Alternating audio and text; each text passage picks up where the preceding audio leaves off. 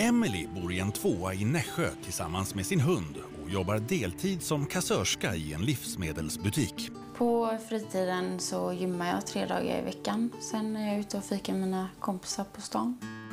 Emily tycker det är extremt viktigt att vara snygg och utseende ligger högt upp på hennes prioriteringslista.